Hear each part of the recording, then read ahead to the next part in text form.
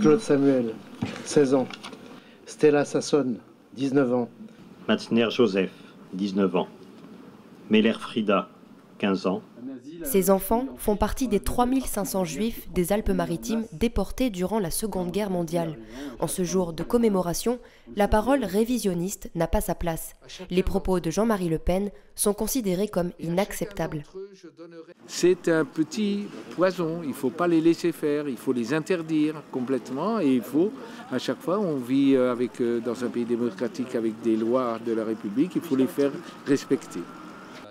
Daniel Vancier sait de quoi il parle. Il est lui-même enfant de déporté. Moi, je suis un enfant caché, mon père a été déporté, donc on a tous, euh, je suis né avant la guerre, bien sûr, j'étais dans un camp à Rivesaltes, un camp d'internement.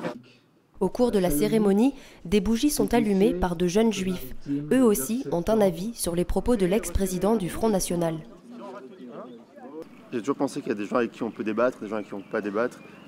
Et quand quelqu'un dit ça, j'ai juste envie de me dire bon, c'est pas utile quoi qu'on passe à la personne suivante. Le jour de Yom HaShoah, c'est l'occasion de perpétuer le souvenir, une des solutions pour éviter de nouveaux drames. Aujourd'hui, seule la parole peut empêcher la vague menaçante de l'oubli pour que ce passé ne ressurgisse plus jamais. Selon le dernier rapport annuel de l'Université de Tel Aviv, les actes antisémites sont en augmentation de 40% à travers le monde. Attaques, menaces, vandalisme, l'objectif de la communauté juive est de sortir du silence.